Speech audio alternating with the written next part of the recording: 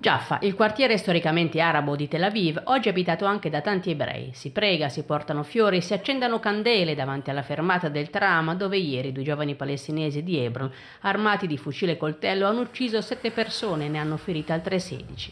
La polizia stava ancora finendo i rilevamenti quando le sirene hanno iniziato a suonare e decine di missili sono stati intercettati sul cielo di Tel Aviv. Noam accarezza la sua compagna in lacrime, ancora scioccata, testimone oculare dell'attentato di ieri. Una tragedia, ci dice Noam. È difficile spiegare lo shock del quartiere. Viviamo insieme agli arabi senza problemi. Sono tempi difficili per la situazione generale. Siamo più impariti e preoccupati.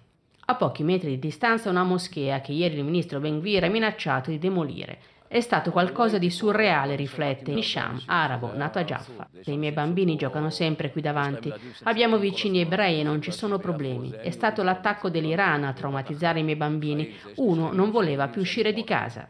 Sul lungomare, illuminato ieri notte dai missili normalmente molto affollato, non c'è quasi nessuno in questa vigilia del Capodanno ebraico. È semivuoto, spiega Ariel, perché diversa gente oggi ha preferito stare a casa, vicino ai rifugi, dopo l'attacco. Io vengo a correre per scaricare la tensione, ma voglio restare ottimista.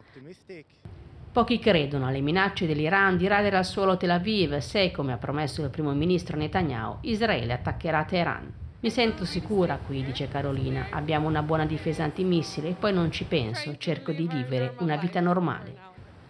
Impresa impossibile per Shadi e suo zio Sale, musulmani, residenti di Sheikh Nannum, villaggio arabo sul confine con il Libano.